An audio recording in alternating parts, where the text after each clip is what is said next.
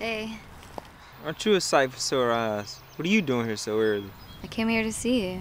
Dang, girl, are you stalking me? No, I'm definitely not stalking you. Look, what we had was fun and all, but I don't need you just dropping by. I don't even want to be here. Jeez, you are so self absorbed. Yeah, you're right. I'm here because we need to talk. Why do I feel like you're about to ruin my day? Yeah, try your life. Okay, I'm listening. Well, the last time we were together, we weren't exactly playing it safe, and now I'm pregnant. Huh? You said you were on birth control.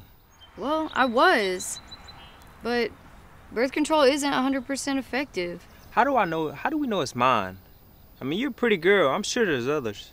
You're the only one that I've been with in the last year. I don't want to be no husband. What do you want from me? I don't know, but I'm not trying to marry you. I just want you to be around. I'm scared to be a father. Well, you're great. I mean, charming and sweet, funny.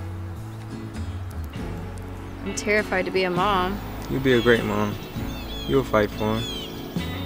I already am. Look, I gotta get back to work. Well, you want to raise this kid together? Yeah, we can do that.